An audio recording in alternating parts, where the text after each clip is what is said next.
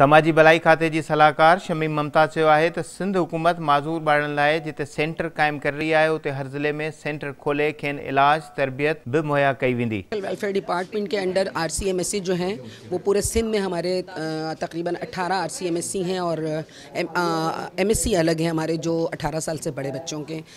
R C P H तो वो अलग हैं इसके अलावा। और मैं समझती हूँ कि ये बहुत कम है अभी, और हमें सिंध में जो है मज़ीद इसकी ज़रूरत है, क्योंकि जितने डिस्ट्रिक्ट हैं, हर डिस्ट्रिक्ट में एक होना चाहिए। तो 29 हमारे पास होने चाहिए। हम अगले बजट में इन कोशिश कर रहे हैं कि हम एक तो टीचर हमारे लिए, ज़ाहिर एक मसला है कि इसमें टीचर हमें अपॉइंट करने पड़ेंगे ख़ास तौर पर, और दूसरा ये कि हमें बिल्डिंग्स और उसकी ज़रूरत होगी, क्लासरूम की ज़रूरत होगी। तो हम बिल्कुल ऑन बोर्ड हैं अपनी लीडरशिप के साथ भी, और अपने चीफ मिनिस्टर के साथ भी, कि आइंदा हमने बजट में जो है वो इसको मज़ीद बढ़ाना है हमने। समाजी भलाई खाते सेक्रेटरी जो चवणो त माज़ूर ॿारनि खे रुगो तालीम इलाज तरबियत सां गॾु संदन बहितर मुस्तक़बिल जूं कोशिशूं बि वरतियूं वेंदियूं। तमाम ही सेंटर एक बेसिक कैपेसिटी में मौजूद हैं। और जो आगे हम मूव फॉरवर्ड करना चाह रहे हैं वो ये है कि हमारे पास इन बच्चों के लिए एक प्रॉपर करिकुलम भी हो। उस पर अभी हम स्पेशल एजुकेशन के साथ मिलकर काम कर रहे हैं। प्रोग्राम के कोऑर्डिनेटर डॉक्टर अनवर जो चवणु हो त ॿार माज़ूर छो था थियनि उन्हनि जे हल ऐं ॿुधण खां महरूम ॿारनि जी बहितरी लाइ कमु करे रहिया आहियूं। जो ऑलरेडी डिसेबल बच्चे हैं उनका इलाज मुकम्मल तरीके से करा रहे हैं।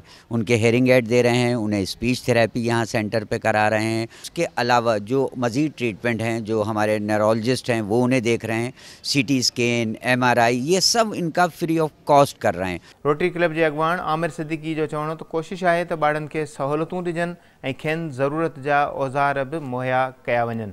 इस हमारा जो प्रोजेक्ट सबसे बड़ा जो है हमारा हेयरिंग एड एड के हवाले से ये प्रोजेक्ट है, ये हमारा सेकंड प्रोग्राम है हेयरिंग एड के हवाले से। रेगुलर बेस हमारा हेल्थ केयर प्रोग्राम है, जो हमने R C M S C Ancholi से स्टार्ट किया है। अल्लाह का शुक्र है, जिन बच्चों को हमने पहले हिस्से में हमने जो हेयरिंग एड दिया था, उनमें काफ़ी इंप्रूवमेंट है। वो बच्चे सुन भी रहे हैं और बोलने की कोशिश भी कर रहे हैं। ये एक दिन का प्रोजेक्ट नहीं है, ये लॉन्ग टर्म प्रोजेक्ट है। माज़ूर जी भलाई लाइ थींदड़ कम जिते सारा जोगा आहिनि उते ज़रूरत न जी आहे, त जी भलाई लाइ कम खे ईमानदारी से मुकमल किया वञे ऐं ॿारनि खे सहूलियतुनि सां आरास्ता कयो कैमरामैन मुस्तफ़ा रिन सां गॾु doctor Wahid Bakhsh Panwar, Sindh TV news Karachi.